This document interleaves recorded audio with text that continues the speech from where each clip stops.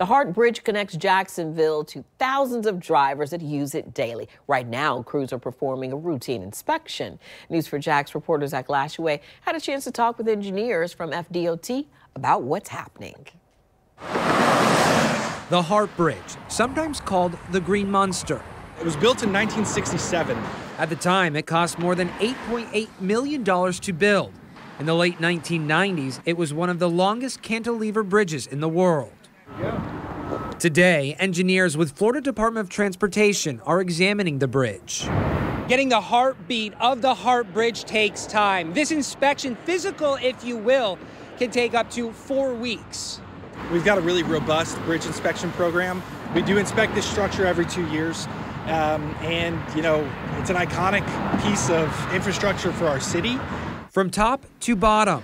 We've got folks with cameras, uh, measuring tape, that they are literally taking within two feet of a crack, any deficiency they see, they are taking it, jotting it down. We're going to track it over the long term um, and really just make sure that we, you know, protect this structure.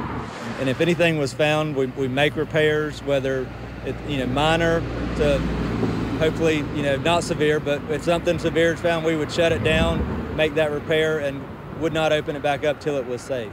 Ross Hammock is an engineer with FDOT. What are common issues with truss bridges over time? Well, the biggest thing that pops in my mind is it's steel.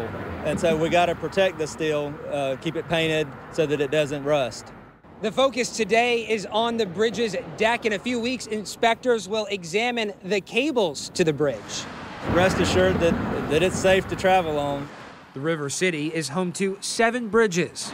Dames Point, Matthews, Hart, Main, Acosta. Come on, say them with me. Fuller Warren and the Buckman. The Fuller Warren Bridge is uh, our most popular uh, bridge here. Uh, and uh, you know we're expanding that right now.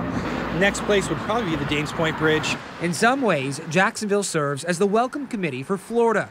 Part of this, the city's bridges. Rest assured that this is what we do. We do it every two years as a routine inspection to make sure that the bridge stays safe and people can travel over it safely.